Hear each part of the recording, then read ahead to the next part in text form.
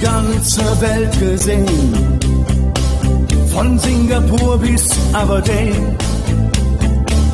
Wenn du mich fragst, wo es am schönsten war,